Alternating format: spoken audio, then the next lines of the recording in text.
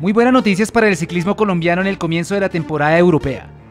Iván Ramiro Sosa se corona campeón del Tour de la Provence 2021 y Egan Bernal lo acompaña en el podio, tras un muy buen y coordinado trabajo del Team Ineos Grenadiers durante el desarrollo de toda la carrera.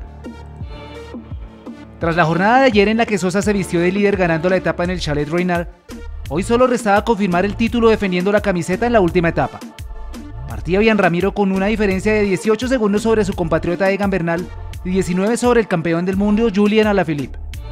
El trazado no traía mayores dificultades salvo un par de cotas con un bajo porcentaje de inclinación, pero que tenían algunos segundos de bonificación, los cuales podían alterar el orden del podio. Y así fue. Julian se fue por los puntos del sprint bonificable y capturó tres unidades que parcialmente en carretera lo ponían en el segundo lugar de la general, a 18 segundos superando a Bernal que hasta ese momento se encontraba a 19 del líder.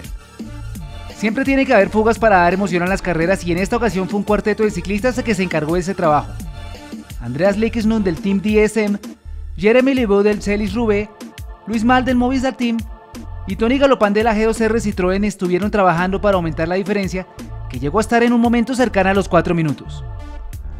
Todo bajo control en el pelotón. Aunque se rodaba a una velocidad considerable, nunca se perdió la calma y mantuvieron a raya la fuga.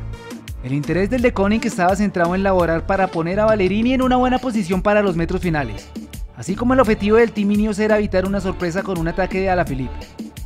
Los dos equipos estuvieron alternándose la punta junto al Grupama y aumentando gradualmente el paso llegaron a neutralizar al último de la fuga en los últimos 5 kilómetros. Metros finales y se lanza al embalaje. El tren del Grupama pierde conexión con Arnaud de Mar y el campeón francés queda fuera de la disputa. Arkea Samsic trabaja para Nacer Bowani y lo deja de frente para el sprint. La pelea es con Valerini quien toma delantera a unos 50 metros de meta, pero de atrás sorprende el alemán Phil Bauhaus del Bahrein que le quita la victoria a Valerini. Tras ellos entra el grupo con Iván Sosa que celebra un título más en su carrera, que espera ser tenido en cuenta por los directores de su equipo para ser parte de la nómina que irá al próximo Giro de Italia.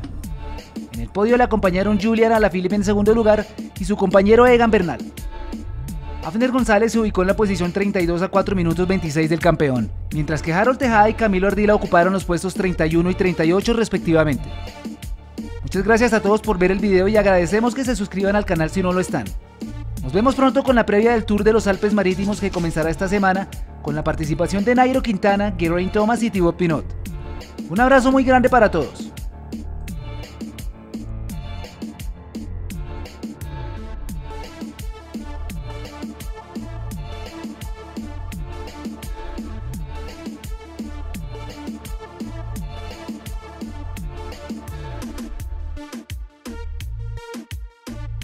you